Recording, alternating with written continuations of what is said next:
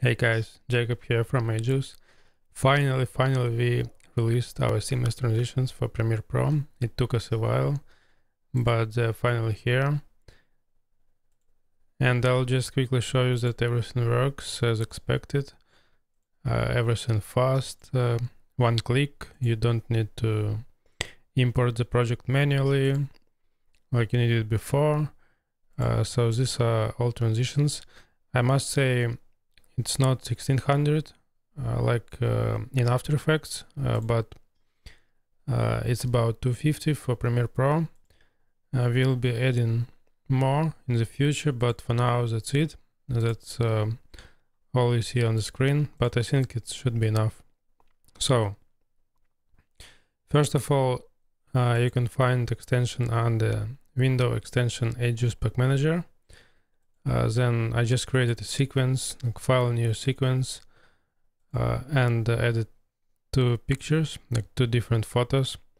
So all you need to do is put your time indicator in, in the middle and uh, select your transition and hit import. So it did its job and uh, the transition is ready. Uh, let's maybe preview it. Okay, so let's play. Let's play it one more time.